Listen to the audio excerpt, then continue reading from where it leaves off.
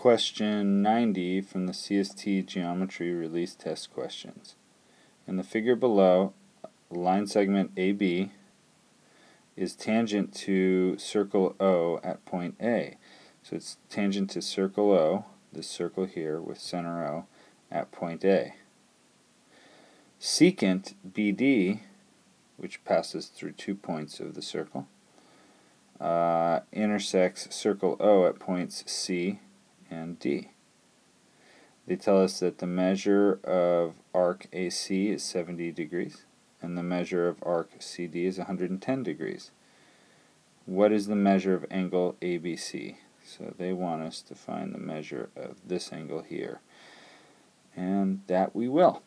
Um, first step, let's draw in some radius radiuses, or I guess we, we should say radii. I'm going to draw one from O to D, one from O to A, and one from O to C. The reason I did that is because I want to be able to label the measures of these angles. This will help me solve this problem. Um, so, being that uh, arc CD has a measure of 110 degrees, uh, the angle whose vertex is at the center of the circle that intersects points C and D on the circle uh, also has a measure of 110 degrees here. And the uh, angle whose center again is at O uh, and who intersects the edges of the circle at points A and C has the essentially it has the exact same measure as the secant that it captures as long as that angle's vertex lies on the center of the circle. So here we have a 70 degree angle okay?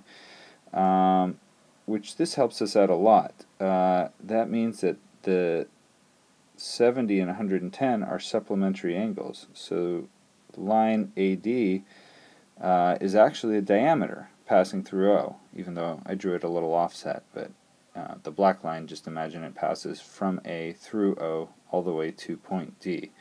From A through O all the way to point D. So it's a diameter. This is a straight angle of 180 degrees. So this will help us out tremendously. Um, if that's the case, uh, we know that, uh, let's make sure we have the right color here, uh, that we know that this line segment here and this line segment here are congruent because they're both radii. So uh, this triangle here is an isosceles triangle.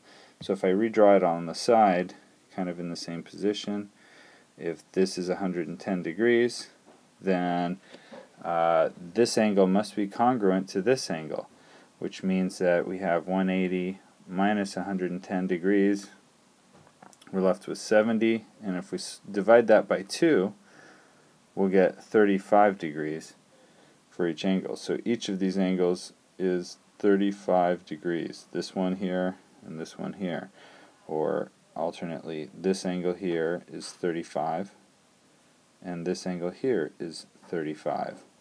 Okay, so that means the important part is that we know that this angle here is 35 degrees. If we know that angle is 35 degrees and we know that uh, AB is tangent to the circle at point A, then we know that this forms a 90 degree angle here. So we already know now that this is 90 degrees and this angle here is 35 degrees. So we have two of the three angles of this big triangle right here. And all we want to do is find the measure of this angle anyways. So if I add 90 plus 35, I get 125. If I then subtract that from 180, I'll get the answer that we're looking for, which this should be 55 degrees. Answer C.